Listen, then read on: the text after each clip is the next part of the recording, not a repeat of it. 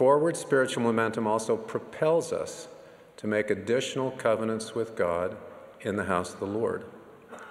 Multiple covenants draw us closer to Christ and connect us more strongly to Him. Through these covenants, we have greater access to His power.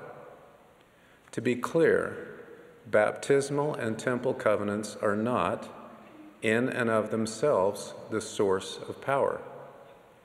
The source of power is the Lord Jesus Christ and our Heavenly Father.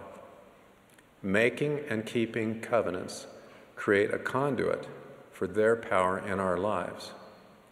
As we live according to these covenants, we eventually become inheritors to all that Heavenly Father has.